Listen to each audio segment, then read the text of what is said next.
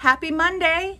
So we got another four inches of snow last night, and uh, with that, I figured today we'd talk about my favorite topic, weather, and specifically with that, snow. So you may have heard that the National Weather Service has started issuing snow squall warnings. What this means is it is going to be a very intense two to three hour storm that's going to bring down a lot of snow and heavy wind gusts with it. If you want to learn more about snow squall warnings or as well as just weather in general, we have a great book here um, called Understanding Weather and Climate. This is a great introduction, uh, but we also have many, many other books related to weather and climate if you want to learn more information about it.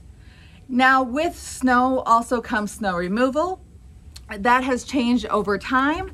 Uh, you can see back here, here's a photo from the Iowa uh, Digital Library and it is of a horse draw, drawing plow here on campus.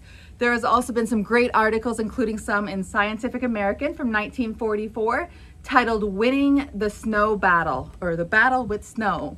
Uh, so those are some of the fun things to look back at the history of how snow removal has changed. You can also look forward. Here's a great article from 2003 written by our own Dr. Nixon looking at optimizing the usage of de-icing chemicals.